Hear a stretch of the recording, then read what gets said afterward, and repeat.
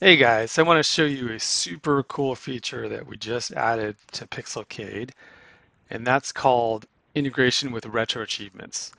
So the way this works is if I launch a game, and right now this only works on EmuElec, but see how this game has that little trophy there? That means this game supports a thing called retro achievements, and I'll show you what that means in a sec. So let's go ahead and launch the game. And you can see here Pixelcade is doing, now playing Berserk. And let's go ahead and start the game. And basically what retro achievement means is if I achieve a certain score, so in this case, if I hit 1000, that's going to trigger an event.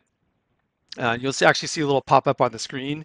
And then Pixelcade is actually going to intercept that event as well. And you'll see this little cool animation play and uh, some text scroll on the exact event that we achieve. So let me show you how that works. So we're just going to play here.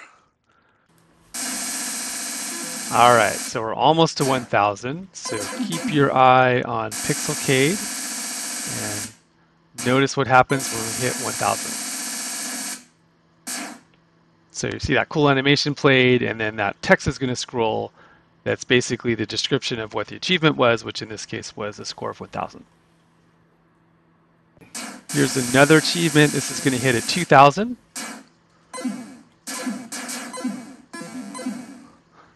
So again, you see that cool animation and now it's going to scroll different text letting us know that we hit 2000, which was this particular achievement. And then you'll notice that that animation was different. So the way it's programmed is it will play between 1 and 10 animations randomly, and then it scrolls the text of the achievement, and then it lands back on the marquee.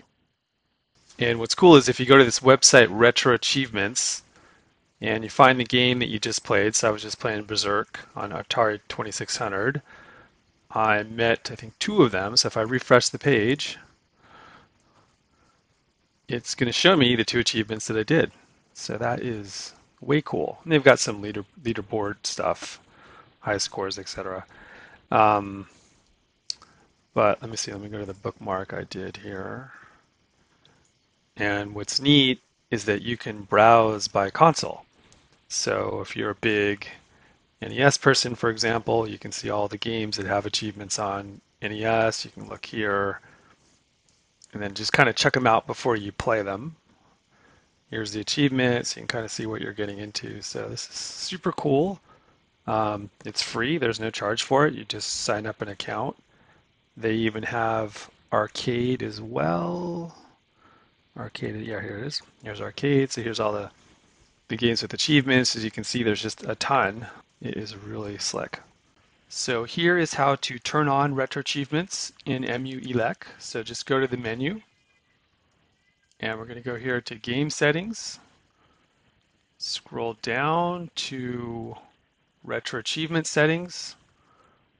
And I've already, I've already got it turned on, but you go ahead and turn it on. And then when you created your username and password from retroachievements.org, you would enter your credentials here.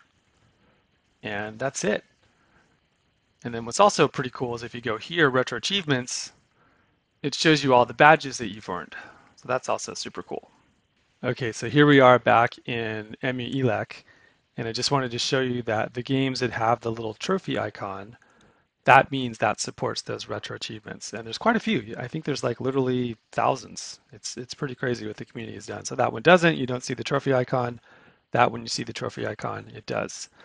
So lots of things to explore there.